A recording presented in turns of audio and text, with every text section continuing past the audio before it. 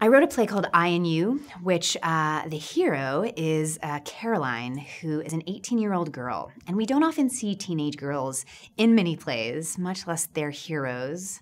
Um, and so it was very important for me to be able to create a, a, a girl hero for this um, who was who is real. So she is snarky and she is sassy and brassy, and some might call her unlikable, which I don't really like that word, because there's a reason for everyone's personality.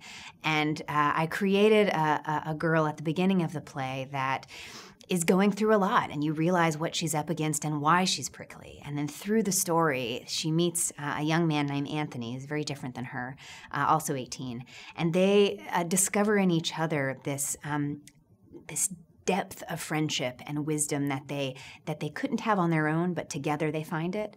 Um, and it, it, was such a, a, privilege to write uh, teenagers, um, and not in a way that was, uh, you know, crass and silly um, and demeaning to this kind of really important part of life that we all go through. Um, so through that, I kind of reconnected to, frankly, the power of, of a teenager, which is you're you're waiting for the world. You are you have hope.